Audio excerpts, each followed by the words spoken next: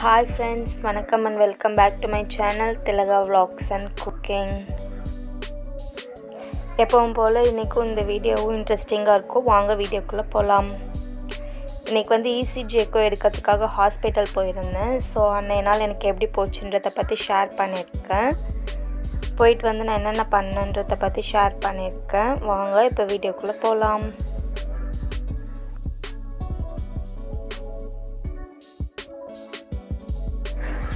So நான் சொன்ன மாதிரி இன்றைக்கி பார்த்தீங்கன்னா இசிஜி எக்கோ எடுக்க போனோம் ஹாஸ்பிட்டலுக்கு டாக்டர் கிட்ட அப்பாயின்மெண்ட் வாங்கிட்டோம். ஆஃப்டர்நூன் மேலே டைம் கொடுத்துருக்காங்க. ஸோ டைம் ஆனதுக்கப்புறம் கிளம்பணும். இன்னும் பிரேக்ஃபாஸ்ட்டு லஞ்ச் எதுவுமே பண்ணலை. பட் வெளியில் கிளம்பணுன்றதுனால காலையில் எல்லாருமே ஃப்ரெஷ்ஷப் ஆகிட்டோம் பாப்பாவுக்கு பார்த்திங்கன்னா இப்போல்லாம் ஆன்லைன் கிளாஸ் தான் வைக்கிறாங்க. ஸ்கூல்லாம் ஸ்டாப் பண்ணிட்டாங்க. இவங்களெல்லாம் ஒரு இடத்துல உட்கார வைக்கிறதே பெரிய விஷயமா இருக்குது ஒரு ஒரு நாள் புதுசு புதுசாக ஏதாவது கேம் கொடுத்தா தான் விளையாடிக்கிட்டு கொஞ்சம் நேரமாவது அமைதியாக இருக்காங்க.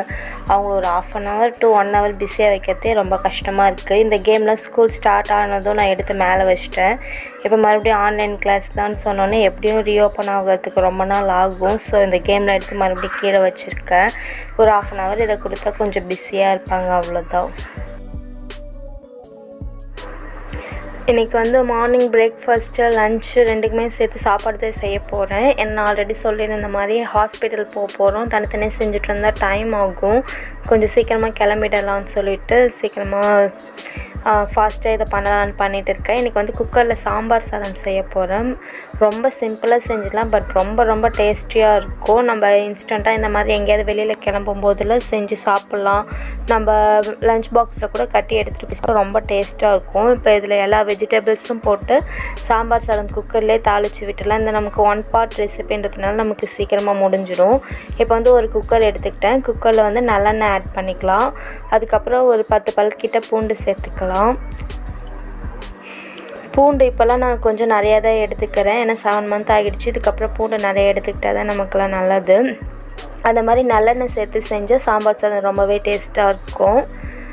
இப்போ வந்துட்டு எண்ணெய் நல்லெண்ணெய் சேர்த்துட்டு அதில் பூண்டையும் சேர்த்துட்டேன். அடுத்தது சின்ன வெங்காயம் முடிச்சு வச்சுருக்கேன். அதையும் இது கூட சேர்த்துக்கிறேன். அந்த மாதிரி சின்ன வெங்காயம் சேர்த்து சாம்பார் சாம்பார் சாதம் எல்லாம் செய்யும்போது அதுவும் டபுள் டேஸ்ட்டாக இருக்கும். சின்ன வெங்காயம் தான் சின்ன வெங்காயம் சேர்த்துக்கும் மூடி போட்டு வதக்கிக்கிறேன். எங்கே பார்த்தாலும் தெளிக்காமல் இருக்கும். இப்போ பார்த்தீங்கன்னா வெங்காயமும் பூண்டும் நல்லா வதங்கிடுச்சு. இப்போ ரெண்டு தக்காளி கட் பண்ணி வச்சுருக்கேன். அது இது கூட சேர்த்து நல்லா வதக்கி எடுத்துக்கிறேன். இப்போ நம்ம சேர்த்த வெங்காயம் தக்காளி பூண்டு எல்லாமே நல்லா வதங்கிடுச்சு. இப்போ கட் பண்ணி வச்சுருக்க வெஜிடபிள்ஸ்லாம் ஆட் பண்ணிக்கலாம். இன்றைக்கி வந்து நான் வீட்டில் இருக்க வெஜிடபிள்ஸ் ஆட் பண்ணியிருக்கேன். எந்த வெஜிடபிள்ஸ் ஒன்றாலும் ஆட் பண்ணலாம். இப்போ வந்து ஒரு ரெண்டு கேரட் கட் பண்ணி வச்சுருக்கேன். அதை சேர்த்துக்கிறேன். இந்த மாதிரி ஸ்கொயர் ஷேப்பில் கட் பண்ணிக்கோங்க. இந்த மாதிரி கட் பண்ணி போடும்போது நல்லா வெந்து சாம்பார் சாதத்தை கூட குழஞ்சி நமக்கு நல்லா டேஸ்ட்டாக இருக்கும். அடுத்தது பீன்ஸ் ஒரு நாலஞ்சு கட் பண்ணி வச்சுருக்கேன். அது இது கூட சேர்த்துக்கிறேன். அடுத்தது கத்திரிக்காய் எடுத்திருக்கேன். கத்திரிக்காய் அந்த மாதிரி ஒரு நாலு கத்திரிக்காய் எடுத்திருக்கேன். அது இது கூட நல்லா சேர்த்து வதக்கி விட்டுக்கலாம். எங்கள் வீட்டில் இன்றைக்கி இதுதான் இருந்தது. நான் இதை சேர்த்துக்கிறேன். மற்றபடி எந்த காய் வீட்டில் இருக்கோ அதை போட்டு செய்யலாம். எல்லாமே ரொம்பவே நல்லாயிருக்கும் முருங்கைக்காய் அவரைக்காய் உருளைக்கிழங்கு காலிஃப்ளவர் பட்டாணி எது போட்டு செஞ்சாலுமே அந்த காய்கறி சாப்பாடு எல்லாமே ஒன்றா சேர்ந்து நம்மளுக்கு வெந்து வரும்போது ரொம்பவே டேஸ்ட்டாக இருக்கும். இப்போ இருக்கிற காய்கறிகளை சேர்த்துட்டு இப்போ இதை நல்லா வதக்கி விட்டுக்கிறேன். இப்போ காய்கறிலாம் போட்டு ஒரு ரெண்டு நிமிஷம் நல்லா வதக்கி எடுத்துட்டேன். இப்போ நம்ம ஊற வச்சுருக்க அரிசி பருப்பு ரெண்டையும் இப்போ ஆட் பண்ணிக்கலாம். அரிசி பருப்பு ரெண்டையும் ஒன்றாவே போட்டு ஊற வச்சுக்கலாம். ஒரு ஒரு மணி நேரம் ஊற வச்சா நல்லாயிருக்கும். எந்த அளவு அரிசி எடுக்கிறீங்களோ அந்த அளவுக்கு பருப்பு போட்டு செய்யும்போது ரொம்ப டேஸ்ட்டாக இருக்கும். துவரம் பருப்பு ஆட் பண்ணி செஞ்சுங்க நல்லாயிருக்கும். அந்த மாதிரி சம அளவு அரிசி சம அளவு பருப்பு போட்டு இந்த மாதிரி சாம்பார் சாதம் செய்யும்போது ரொம்ப ரொம்ப டேஸ்ட்டாக இருக்கும். அந்த மாதிரி போட்டுக்கோங்க. நான் இன்றைக்கி ஒரு டம்ளர் அரிசி ஒரு டம்ளர் பருப்பு துவரம் பருப்பு ஊற வச்சு வச்சுருக்கேன். ஒன் ஹவர் பிஃபோராகவே ஊற வச்சுட்டேன். இப்போ இந்த காய்கறி கூடயே அதையும் இதை சேர்த்து நல்லா ஒரு கலர் கிளறி விட்டுக்கலாம். இப்போ அடுத்தது சேர்க்க வேண்டிய மசாலாலாம் சேர்த்துக்கலாம். இதுக்கு வந்து நான் வீட்டு குழம்பு மிளகாய் தூள் அரைச்சி வச்சுருக்கல சாம்பார் பொடி அது ஒரு மூணு டீஸ்பூன் ஆட் பண்ணிக்கிறேன். இது இல்லைன்னா மல்லித்தூளும் காரத்தூளும் நீங்கள் மிக்ஸ் பண்ணி ஆட் பண்ணிக்கலாம். உங்கள் காரத்துக்கு ஏற்ற மாதிரி அட்ஜஸ்ட் பண்ணிக்கலாம்.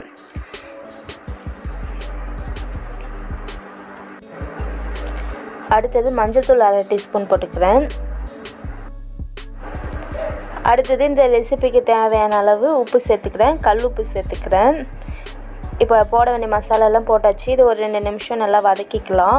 அரிசியில் போட்டிருக்க தண்ணி எல்லாமே சுருங்குற அளவுக்கு நல்லா ஒரு ரெண்டு நிமிஷம் இதை வதக்கி எடுத்துக்கலாம். இப்போ ரெண்டு நிமிஷம் நல்லா வதங்கிடுச்சு. இப்போ வந்து தண்ணி சேர்த்துக்கிறேன். தண்ணி அளவு எப்படின்னா நம்மளுக்கு ஒரு டம் மொத்தம் வந்து ஒரு டம்ளர் அரிசி ஒரு டம்ளர் பருப்பு மொத்தம் ரெண்டு டம்ளர் எடுத்திருக்கேன் மொத்தமாக ஆறு டம்ளர் தண்ணி சேர்த்துக்கணும். அதாவது ஒன் ஈஸ்ட்டு த்ரீ அந்த கணக்கில் சேர்த்துக்கணும். அப்போ தான் நம்ம போட்டிருக்க காய்கறி அரிசி பருப்பு எல்லாமே ஒன்றா வெந்து நல்லா வெந்து வரும். இப்போ சாம்பார் சாதம் பார்த்திங்கன்னா நல்லா தண்ணியாக இருந்தால் கூட ஸ்பூனில் எடுத்து சாப்பிடும்போது நல்லா டேஸ்ட்டாக இருக்கும். பட் கெட்டி ஆயிடுச்சுன்னா சாப்பிட நல்லா இருக்காது.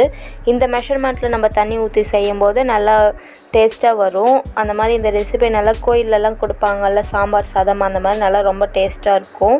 ஸோ இப்போ தண்ணி சேர்த்தாச்சு. தண்ணி சேர்த்துட்டு உப்பு அளவு பார்த்து செக் பண்ணிக்கலாம் இப்போது அடுத்தது ஒரு லெமன் சைஸ் அளவுக்கு புளி ஊற வச்சு வச்சுருக்கேன். அதையும் நல்லா கெட்டியாக தண்ணி ஊற்றி கரைச்சி ஊற்றிக்கிறேன் இப்போ அவ்வளோதான் எல்லா பொருளுமே சேர்த்தாச்சு. உப்பு கொஞ்சம் கம்மியாக இருந்தது நான் போட்டுட்டேன். இப்போ வந்து குக்கர் விசில் போட்டு ஒரு நாலு விசில் நல்லா விட்டுக்கலாம். நாலு விசில் விட்டுடுங்க அப்போ தான் எல்லாமே குழஞ்சி நல்லா வெந்து வரும். நாலு விசில் வச்சா கரெக்டாக இருக்கும். இப்போ பார்த்தீங்கன்னா ப்ரெஷர் ஃபுல்லாக இறங்கிடுச்சு. இப்போ ஓப்பன் பண்ணிக்கலாம். நல்லா குக்கர் விசில் வரும்போதே சாம்பார் சாதம் வாசனை பயங்கரமாக இருந்தது வீடு பூரா. இப்போ பார்த்தீங்கன்னா நல்லா வெந்து வந்துடுச்சு.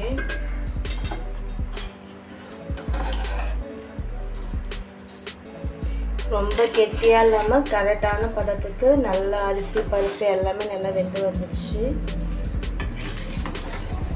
கோயிலில் பார்த்தீங்கனாலும் இப்படி தான் கொடுப்பாங்க. நமக்கு காய் இருக்கிறது தெரியாது பட் நல்லா அதோட டேஸ்ட்டு ஃப்ளேவர் எல்லாமே நமக்கு நல்லா தெரியும். இப்போ அந்த மாதிரியே நல்லா குழஞ்சி வெந்து வந்துடுச்சு இப்போ இதுக்கு வந்து தாளிச்சு மட்டும் கொட்டிடலாம்.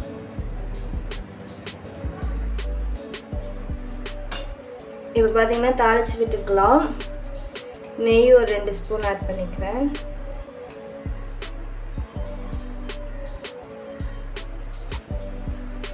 நெய் நல்லா காஞ்சதும் முந்திரி கொஞ்சம் இதில் சேர்த்துக்கலாம். முந்திரி நல்லா வறுபட்டதும் இதை ஃபஸ்ட்டு சாம்பார் சாதத்தில் ஆட் பண்ணிவிட்டு அடுத்து தாளிக்க வேண்டியதை தாளித்து விட்டுக்கலாம். இப்போ நல்லா வறுந்துச்சு இதை ஃபஸ்ட்டு சாம்பார் சாதத்தில் ஆட் பண்ணிக்கிறேன்.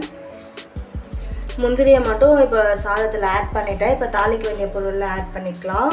அதே நெய்லேயே தாளித்து விட்டுக்கலாம். கடுகு ஒரு டீஸ்பூன் ஜீரகம் கால் டீஸ்பூன் சும்மா ஒரு நாலு வெந்தயம். சும்மா ஒரு நாலு மிளகு ஆட் பண்ணிக்கோங்க. நல்லா வாசனையாக இருக்கும். அடுத்தது ரெண்டு காஞ்ச மிளகாய்.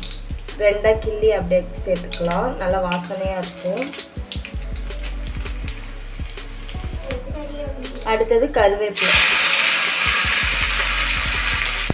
அடுத்தது பெருங்காயத்தூள் கொஞ்சம். ஒரு ஆஃப் டீஸ்பூன் அவ்வளோதான் எல்லாமே ஆட் பண்ணியாச்சு இப்போ இதை அப்படியே நம்ம சாம்பார் சாதத்தில் கொட்டி கிண்டிக்கலாம்.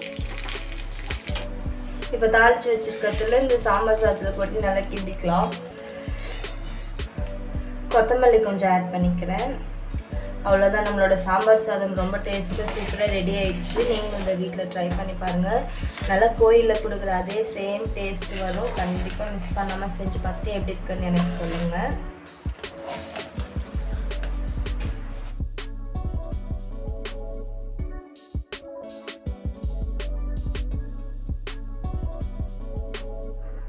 நெக்ஸ்ட்டு சாப்பாடு வேலைலாம் முடிச்சதுக்கப்புறம் பாப்பா கரெக்டாக ஆன்லைன் கிளாஸ் ஸ்டார்ட் பண்ணிட்டாங்க. ஸோ அவ கூட உட்காந்து ஆன்லைன் கிளாஸ் அட்டன் பண்ணிட்டு இருந்தேன். ஸ்கூலுக்கு போகும்போதாவது நமக்கு ப்ராப்ளம் இல்லை. கொஞ்சம் நேரம் டைம் கிடைக்கும். ஃப்ரீ டைம் இப்போ மறுபடியும் ஸ்கூல்லாம் ஸ்டார்ட் பண்ணிட்டாங்க ஆன்லைன் கிளாஸ் ஸ்டார்ட் பண்ணிட்டாங்க. இப்போ கண்டினியூவாக நியூ இயர் ஹாலிடேஸ் கிறிஸ்மஸ் ஹாலிடேஸ்லாம் கழித்து இப்போ தான் ஸ்கூல் ஸ்டார்ட் பண்ணி அதுவும் ஆன்லைன் கிளாஸ்ன்றதுனால அவங்கள ஒரு இடத்துல உட்கார வைக்கிறதே பெரிய கஷ்டமாக போயிடுச்சு. ஃபஸ்ட்டு ஒரு ஃபைவ் மினிட்ஸ் நல்லா சமத்தாக உக்காந்துக்குவாங்க. அடுத்து ஒரு டென் மினிட்ஸில் அப்படியே ஏதாவது நாட்டி பண்ண ஆரம்பிச்சிடுறாங்க. ஏதாவது விளையாடுற மாதிரி அப்படியே கான்சன்ட்ரேஷனை சேஞ்ச் பண்ணுறாங்க அடுத்து ஒரு டுவெண்ட்டி மினிட்ஸ் தான் டைமு மேக்ஸிமம் டுவெண்ட்டி மினிட்ஸ்க்கு அப்புறம் அப்படியே லேசியாக கொட்டாய் விட்டுட்டு தூக்கம் வருதுன்னு சொல்கிறாங்க அப்படி தான் நம்ம பாப்பா பண்ணிகிட்டு இருக்காங்க.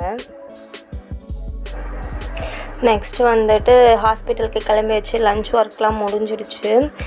பட் இன்னும் கொஞ்சம் டைம் இருந்தது. ஹஸ்பண்ட் வெளியில் போயிருந்தார். அதுக்குள்ளே கொஞ்சம் டைம் இருந்தது ரொம்ப நாளாகவே கொஞ்சம் லிஸ்ட்லாம் எழுதணும்னு நினச்சிட்டு இருந்தேன்.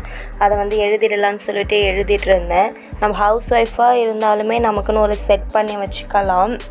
நம்ம பீஸ்ஃபுல்லாக அந்த இடத்துல உட்காந்துட்டு நமக்குன்னு ஒரு ஒர்க் ஸ்பேஸ் மாதிரி ஒரு இடம் செட் பண்ணி வச்சுட்டு நமக்குன்னு ஒரு ரைட்டிங் ஹேபிட்ஸ் வச்சுருந்தா நமக்கு ரொம்ப ரொம்ப நல்லது. அப்புறம் ஒரு நோட் பேட் டைரி இல்லை ஒரு சின்ன கேலண்டர் அந்த மாதிரி செட் பண்ணி வச்சுக்கணும். ரைட்டிங் ஹேபிட்ஸ் இருக்கிறது நமக்கு ரொம்ப ரொம்ப நல்லது. நம்ம ஒரு சில விஷயங்களை நினச்சிட்ருப்போம் பட் அப்படியே விட்டுடுவோம். பட் ரைட்டிங்கில் பண்ணி வைக்கும்போது அதை நம்ம அடிக்கடி ரீகால் பண்ணும்போது அது நம்ம மைண்டில் ஈஸியாக ரிஜிஸ்டர் ஆகிடும். அதனால் அந்த மாதிரி ட்ரை பண்ணி பாருங்கள் நம்ம ஏதாவது ஒரு விஷயம் அச்சீவ் பண்ணணும்னு நினைக்கும் போது அதை நம்ம ரிட்டனில் எழுதி வைக்கும்போது அது நம்ம மைண்டில் ஈஸியாக ரிஜிஸ்டர் ஆகிடும். ஸோ கண்டிப்பாக ரைட்டிங் ஹேபிட்ஸ் மெயின்டைன் பண்ணிக்கோங்க. ஸோ அந்த மாதிரி மந்த்லி கிராசரி ஐட்டம்ஸ் தீர்ந்து போகும்போது அதை ரைட் பண்ணுறது அப்புறம் மந்த்லி எவ்வளோ செலவு பண்ணி வச்சுருக்கோம் அப்படின்றதெல்லாம் பார்க்கும்போது அதெல்லாம் நம்ம ரிஜிஸ்டர் பண்ணி வைக்கும்போது அந்த கேல்குலேஷன்லாம் இரு எழுதி வைக்கும்போது நமக்கு ஒரு ஐடியா கிடைக்கும். அந்த மாதிரியாவது ஏதாவது ஒரு ரைட்டிங் ஹேபிட்ஸ் நம்ம வச்சு மெயின்டைன் பண்ணிக்கணும். நான் அந்த மாதிரி தான் மெயின்டைன் பண்ணிகிட்ருக்கேன் மந்த்லி மந்த்தே எவ்வளோ செலவாகுது அதெல்லாம் போட்டுட்டு அப்புறம் நெக்ஸ்ட் மந்த்துக்கு எவ்வளோ தேவை அப்புறம் நெக்ஸ்ட் மந்தில் என்னென்ன செலவு இருக்குது அதெல்லாம் ஒரு தனியாக எழுதி வச்சுக்குவேன். எல்லா மந்த்தும் அதெல்லாம் என்னோடய கணக்கு எல்லாமே முடியுதா? இல்லை என்னோடய பட்ஜெட் எல்லாமே ஃபுல்ஃபில் ஆகுதான்னு பார்த்தா இல்லை. பட்டு எல்லா மந்த்துமே போட்டு வச்சுக்குவேன். ஐ ஹோப் என் என்னைக்காவது ஒரு நாள் நம்ம ட்ரீம்ஸ் எல்லாமே அச்சீவ் ஆகும். இதை அப்படியே எழுதிட்டே பாப்பா கொஞ்சம் ஹோம்ஒர்க் பண்ணிகிட்டு இருந்தாங்க. அவளுக்கு சொல்லி கொடுத்துட்டு எழுதிட்டு இருந்தேன். இந்த மாதிரி நான் ஒரு லிஸ்ட்டு போட்டுட்டு அதை வந்துட்டு நம்ம அடிக்கடி பார்க்குற இடத்துல வந்து எழுதி ஸ்டிக் பண்ணி வச்சுக்குவேன். அந்த மாதிரி ஒட்டிட்டு அதை அதையே நம்ம அடிக்கடி பார்க்கும்போது நமக்கும் ரிமைண்ட் பண்ண மாதிரி இருக்கும். இந்தந்த ஒர்க்லாம் நமக்கு என்ன இருக்குது இல்லை நம்ம இன்னும் இந்த அளவுக்கு அச்சீவ் பண்ணணும்? அப்படின்னு சொல்லிட்டு நமக்கே ஒரு ஹோப்ஃபுல்லாக இருக்கும். அந்த மாதிரி தான் நான் பண்ணிகிட்டு இருக்கேன். இப்போ இதை முடிச்சுட்டு பாப்பாவுக்கும் ஹோம்ஒர்க் முடிச்சுட்டு ஹஸ்பண்ட் வரத்துக்கு கரெக்டாக இருந்தது. முடிச்சுட்டு ஹாஸ்பிட்டலுக்கு கிளம்பிட்டோம். நீங்களும் இந்த மாதிரி மெத்தட் ட்ரை பண்ணி பாருங்கள் கண்டிப்பாக ரைட்டிங் ஹேபிட்ஸ்லாம் வச்சுக்கோங்க. அது வந்து நம்ம லைஃப்க்கே ரொம்ப நல்லது. இப்போ வந்து ஹாஸ்பிட்டலுக்கு போயிட்டோம். அங்கே எடுத்த வீடியோ தான் இது. இசிஜி வந்துட்டு போனதுமே எடுத்துட்டாங்க. பட் எக்கோ டாக்டர் வரலன்னு சொல்லிட்டு வெயிட் பண்ணி எடுக்க சொன்னாங்க. ஸோ நாங்கள் வெயிட் பண்ணிவிட்டு எக்கோ எடுத்துகிட்டு வரதுக்கு ரொம்பவே ஈவினிங் ஆகிடுச்சு நாங்கள் வந்து ட்ரீட்மெண்ட் கவர்மெண்ட் ஹாஸ்பிட்டலில் தான் பார்த்துட்ருக்கோம். பட் எங்கள் ஏரியாவில் இருக்க ஜிஹெச்சில் வந்துட்டு இந்த ஸ்கேன் இசிஜி எக்கோ அந்த மாதிரி ஃபெசிலிட்டிலாம் கிடையாது. அதனால் ப்ரைவேட்டில் தான் எழுதி கொடுப்பாங்க. நாங்கள் அதனால் ரெகுலராக ஆர்த்தி ஸ்கேன் சென்டரில் தான் ஸ்டார்டிங்லேருந்தே பார்த்துட்ருக்கோம். இங்கே நல்லா பார்க்குறாங்க. ஸ்கேன்லாம் முடிச்சுட்டு ஈவினிங் டீ டைம் ஆயிடுச்சு. அதனால் டீ குடிக்கலான்னு சொல்லிட்டு போயிருந்தோம். எங்கே போயிருந்தோன்னு பார்த்தீங்கன்னா அந்த ஆலடி பட்டியான் கருப்பட்டி காஃபி நீங்களே பார்த்துருப்பீங்க. அங்கே தான் போய் டீ காஃபி ஸ்நாக்ஸ் எல்லாமே சாப்பிட்ருந்தோம் நீங்களும் அந்த கடைக்குன்னு போகலைன்னா போய் ட்ரை பண்ணி பாருங்கள் ரொம்பவே ஃப்ரெஷ்ஷாக இருக்கும் நல்லாயிருக்கும் அந்த ஸ்நாக்ஸ் ஐட்டம் பார்த்திங்கன்னா டெய்லி ஃப்ரெஷ்ஷாக அந்த சுண்டல் வேர்க்கடலை அந்த மாதிரி ஹெல்த்தியான ஸ்நாக்ஸ் தருவாங்க நல்லாயிருக்கும் அது மாதிரி பணியாரம் போட்டு தருவாங்க இனிப்பு பணியாரம் கார பணியாரம் அதெல்லாம் நல்லா க்ளீனாக போட்டுட்டு அந்த தேங்காய் எண்ணெயில் போட்டு தருவாங்க. அதனால் எனக்கு அந்த டேஸ்ட்டு பிடிக்கும். நீங்களும் ட்ரை பண்ணி பாருங்கள் அது மாதிரி கருப்பட்டியில் தான் டீ காஃபி எல்லாமே போடுவாங்க. நமக்கு ஹெல்த்தியும் கூட. இப்போ வந்துட்டு நமக்கு கருப்பட்டி சாப்பிட்டா நல்லா ப்ளட் லெவல் இன்க்ரீஸ் ஆகும்னு சொல்லுவாங்க. அதனால் நம்ம இதுக்கப்புறம் கருப்பட்டிலாம் நிறைய சேர்த்துக்கிறது நல்லது ப்ரெக்னென்சி டைமில் அந்த மாதிரி நீங்கள் அங்கே போனீங்கன்னா கருப்பட்டியில் தான் டீ காஃபி எல்லாமே இருக்கும். எனக்கு அதனால் அது ரொம்ப பிடிக்கும். நல்லாவும் இருக்கும் டேஸ்ட்டாகவும் இருக்கும். அதை முடிச்சுட்டு அங்கேயே இந்த ஸ்நாக்ஸு ஸ்வீட்ஸ்லாம் கொஞ்சம் வாங்கலாம்னு சொல்லிட்டு போயிருந்தோம். அங்கே அந்த மாதிரி என்ன ஸ்பெஷல்னு பார்த்தீங்கன்னா ஸ்வீட்ஸுமே கூடமே கருப்பட்டியில் அப்புறம் நாட்டு சர்க்கரையில் அந்த மாதிரி தான் பண்ணியிருப்பாங்க. அதனால் அது நல்லாயிருக்கும். நமக்கு ஹெல்த்தியாகவும் இருக்கும் இல்லையா? நான் எனக்கு வந்துட்டு காரெல்லாம் எதுவுமே பிடிக்கவே பிடிக்காது. இந்த முறுக்கு மிச்சர் ஐட்டம்லாம் எனக்கு எதுவுமே பிடிக்கவே பிடிக்காது. இந்த ஸ்நாக்ஸ் ஐட்டமே பிடிக்காது. பட் ஸ்வீட் எவ்வளோ கொடுத்தாலும் சாப்பிடுவேன். நம்ம இந்த டைமில் ஸ்வீட்ஸ் வந்து ரொம்ப எடுத்துக்கூடாது. சும்மா லைட்டாக எடுத்துக்கலாம். இங்கே பார்த்தீங்கன்னா இந்த மாதிரி கருப்பட்டியில் பண்ணதுனால நல்லா டேஸ்ட்டாக இருக்கும். நமக்கு ஹெல்த்தியாகவும் இருக்கும் கருப்பட்டி சேர்த்துட்டு சொன்ன மாதிரி நமக்கு ப்ளட் லெவல் இன்க்ரீஸ் ஆகும். அந்த மாதிரி இங்கே ஸ்நாக்ஸு ஸ்வீட்ஸு எல்லாமே நம்ம டேஸ்ட் பண்ணி பார்த்துட்டு பிடிச்சிருந்தா வாங்கிக்கலாம். நாங்கள் வந்துட்டு மைசூர் பாக்கு கருப்பட்டியில் பண்ண மைசூர் பாக்கு வாங்கியிருந்தோம். ஆல்ரெடி கருப்பட்டியில் அல்வா வாங்கியிருந்தோம். பாப்பா வந்து அதை தான் வாங்க வாங்கன்னு சொல்லிட்டு இருந்தா. பட் ஆல்ரெடி வாங்கிட்டதுனால இந்த தடவை கருப்பட்டியில் பண்ண மைசூர் பாக்கு வாங்கி சாப்பிட்ருந்தோம் நல்லாவே இருந்துச்சு. நம்ம கொஞ்சம் ஹெல்த்தியாகவும் எடுத்துக்கலாம்ல ஸ்வீட் கூடமே அதனால் நீங்கள் போனீங்கன்னா ட்ரை பண்ணி பாருங்கள் இப்போ தான் நிறையா பிரான்ச்சஸ் இருக்குது எங்கே போனாலுமே இதை தேடி தேடி பார்த்து இப்போலாம் நாங்கள் டீ காஃபி குடிக்க போகிறோம் டீ காஃபி டேஸ்ட்டுமே நல்லாயிருக்கும் இங்கே.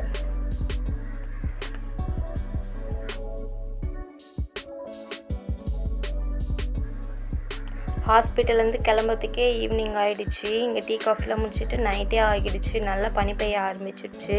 அதனால் பாப்பாவுக்கு ஸ்வெட்டரு அந்த மஃபுலர் எல்லாமே போட்டிருந்தோம். மாஸ்க்கு போட்டிருந்தோம்.